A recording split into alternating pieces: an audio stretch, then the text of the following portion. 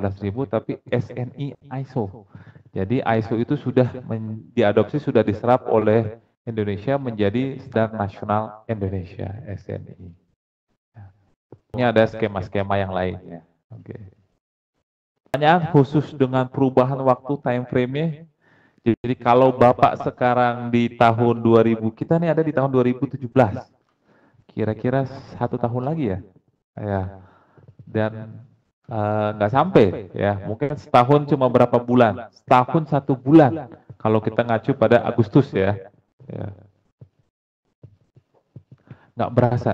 Dulu saya ngomong begini masih eh, dua tahun setengah, dua tahun, setahun setengah. Nah, sekarang sudah tinggal waktunya tinggal satu tahun lagi Bapak Ibu harus memikirkan kalau akan mengadopsi ISO yang versi terbaru ini. Ya. Silakan di arrange kira-kira selama setahun ini akan dilakukan apa-apanya. Ada pertanyaan? Tidak ada? Oke, ya silakan Bu.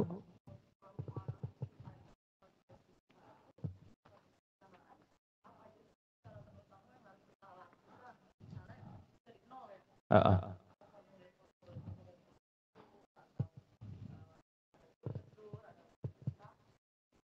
Oke, baik. Pertanyaan Ibu berarti ap, dokumen apa saja yang harus kita siapkan ya Bu ya?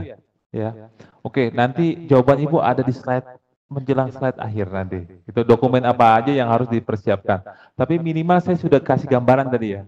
Yang membedakan ciri ISO 14 dengan ISO-ISO seri yang lain bahwa ada yang disebut dengan aspek dan impact itu. Nah, itu yang tidak ada di seri-seri yang lain. Nah, itu salah satu gambarannya. Ya. Adapun dokumen wajib yang lain nanti ada di bawah-bawahnya. Ya. Karena versi 14 dengan 15 sedikit agak berbeda. Ya. Oke, kalau tidak ada pertanyaan, nanti saya ini silakan. Ada lagi pertanyaan selain itu?